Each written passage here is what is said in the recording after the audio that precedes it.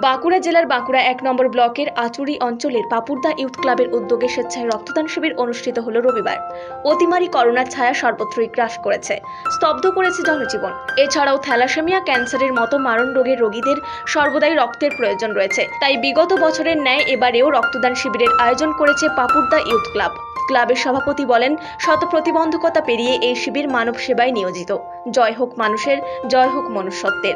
পাশাপাশি এদিনের এই রক্তদান শিবিরে মোট পঞ্চান্ন জন রক্তদাতা স্বেচ্ছায় রক্তদান করেন।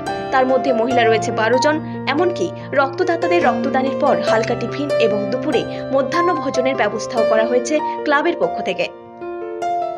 আমরা ততটুকু দিয়েছি। মানব সেবায় তো আমরা বরাবর আছি। আমরা চেষ্টা করে যাই সমাজের ভালো কিছু হোক, আমরা চেষ্টা করে যাই।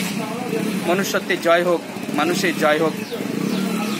একটা অনুভূতি হলো, বিশেষ করে একটা ছোট্ট ছোট্ট গ্রাম্য এলাকায় যেভাবে স্বতঃস্ফূর্তভাবে মানুষ এসেছেন এবং সবথেকে উল্লেখযোগ্য বিষয় হচ্ছে মহিলাদের উপস্থিতি, মহিলাদের স্বতঃস্ফূর্ততা, এটা আমাদেরকে খুব অনুপ্রাণিত করেছে।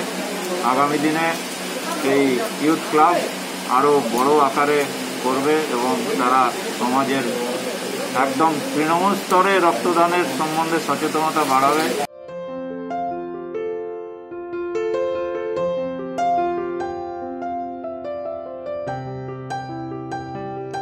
বাঁকুড়া থেকে Syed Mofizul হোদার report Ananda Bangla.